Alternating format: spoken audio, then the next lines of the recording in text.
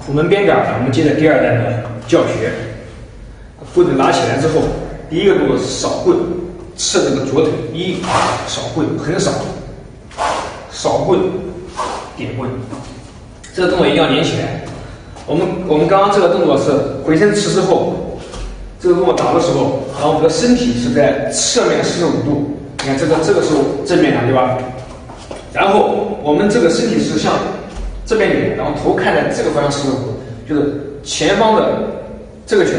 看这个四十五度，然后我们第一个动作就是侧这个左腿，然后扫棍，侧左腿，扫棍，很少，扫棍，然后再侧你的右腿，点，都是小碎步，不要侧的太大。扛起来，然后侧步一扫棍，收回二点棍。它的细节慢动作就是很少，很少过来，然后翻。点，然后这两个动作一定要连起来了，一、二，一、二。